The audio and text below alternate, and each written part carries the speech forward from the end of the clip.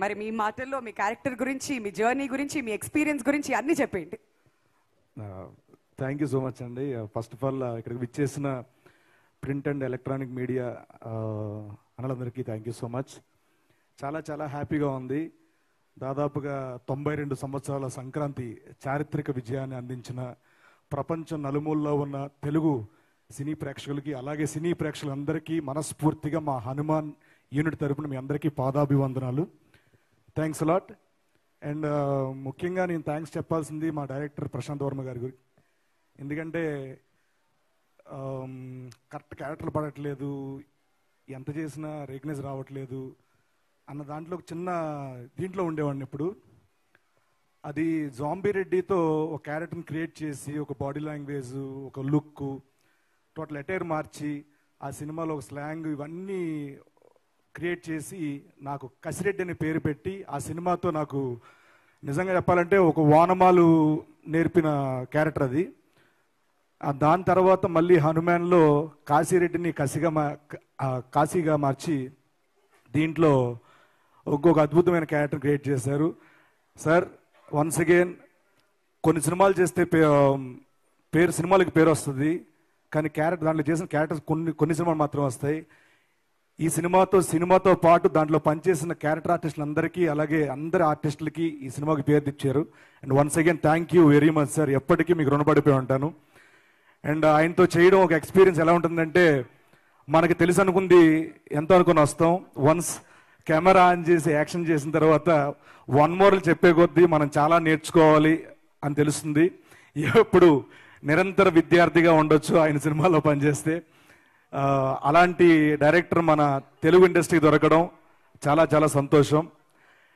And అలాగే ఆయన నమ్మిన మా ప్రొడ్యూసర్ నిరంజన్ రెడ్డి గారికి Chaitanya మ్యామ్కి thank you so much sir thank you so much ma'am ఆయన ఎప్పుడు లొకేషన్లో చెప్పేవాళ్ళు ఒక ఏదైనా సీక్వెన్స్ ప్లాన్ చేసేటప్పుడు ఇదండి సెటప్ అని అంటే పక్కన వెంకట గారు పెరిగిపోతుంది పెరిగిపోతుంది పెరిగిపోతుంది పెరిగిపోతుంది అంటే ప్రశాంత్ గారు పక్క పిలిచి మేము పెరిగిపోతుందని బాధలో ఉన్నామండి.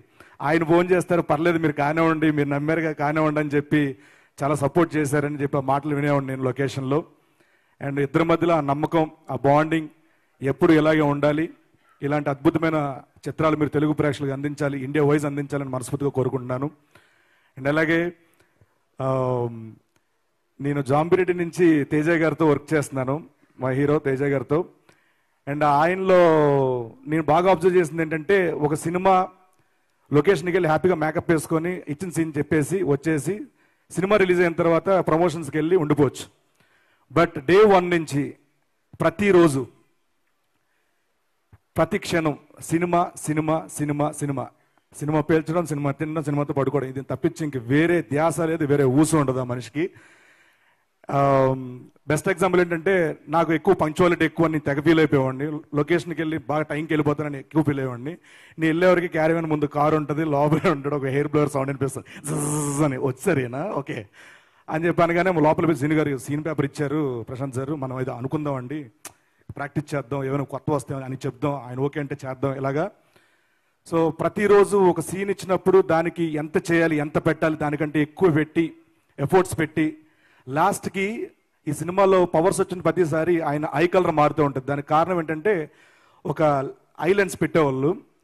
ఆ లెన్స్ వల్ల ఆయన కన్ను ఆల్మోస్ట్ సెవెంటీ పర్సెంట్ డ్యామేజ్ అయింది. తొందరగా అది మీరు కోలుకోవాలి. ఆ హనుమంతుడు ఆశీస్సులు మీకు ఎప్పుడు ఉండాలని మనస్ఫూర్తి కోరుకుంటున్నాను.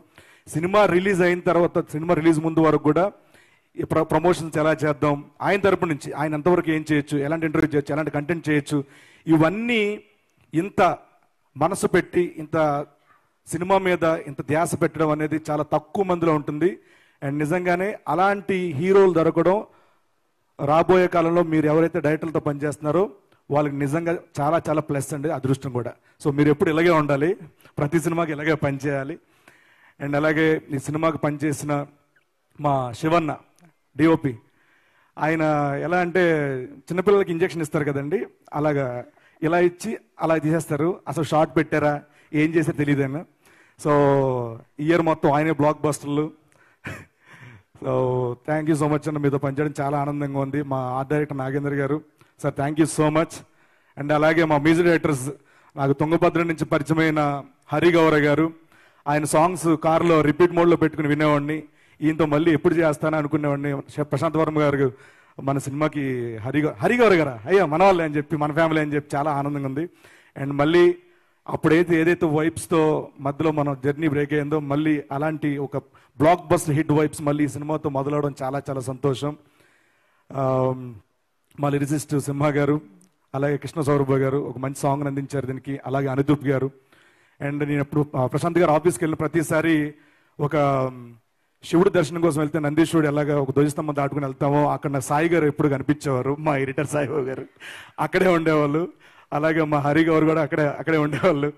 సో ఇంతమంది ఇది ఓన్ ఫ్యామిలీలా ఫీల్ అయ్యి ఇది నా జాబ్ ఇది మా సినిమా అని ఫీల్ అవ్వబట్టి ఈ రోజున ఇంత పెద్ద విజయాన్ని పెద్ద ప్రేక్షకులందరూ ఇవ్వడం జరిగింది. అండ్ అలాగే ఈ సినిమాకి హీరోయిన్గా పనిచేసిన అమృత అయ్యర్ గారు ప్రతిరోజు లొకేషన్లో చాలా జోగియల్గా చాలా మన తెలుగుంట పక్కింటి అమ్మాయిలాగా చాలా జోగియల్గా ఉండేవాళ్ళు. అలాగే మన రాజేష్ ప్రతి గారు అండ్ అలాగే సముద్రి సముద్రగని గారు వీళ్ళందరూ కూడా చాలా చాలా సముద్రగని గారితో నేను కాంబినేషన్ చేయలేదు బట్ ఈ సినిమా పనిచేసిన ఆల్ వరలక్ష్మి వరలక్ష్మి వరలక్ష్మి సరత్కుమార్ గారు వీళ్ళందరికీ కూడా మనస్ఫూర్తిగా కృతజ్ఞతలు తెలుపుకుంటున్నాను. అండ్ మా సత్య మా సత్య నీ నా సీన్లకి ఎంత ఎంజాయ్ చేసాను తెలియదు కానండి. దానికి రెట్టింపు నేను ఎంజాయ్ చేసింది మా సత్య క్యారెక్టర్కి వాడిని చూస్తే నవ్వు నాకు. సత్య మిస్ యూరా ఇక్కడ నువ్వు లేవు. మేబీ లాస్ట్ టైం తేజ గారు అన్నట్టు సక్సెస్ వచ్చింది మనం అవసరం లేదని చెప్పి.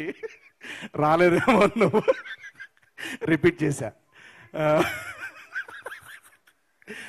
అండ్ um, ఈ సినిమా పనిచేసిన ప్రతి కాస్ట్ అండ్ క్రూ టెక్నీషియన్స్ అందరికి కూడా once again thank you so much thanks a lot నా స్టైల్లో చెప్పాలంటే ఇదే ఇదే అసలైన success thank you thank you so much thanks a lot thank you so much Srinu గారు. వన్స్ అగైన్ మీకు కూడా మెనీ మెనీ కంగ్రాచులేషన్స్ అండ్ ఇప్పుడు నేను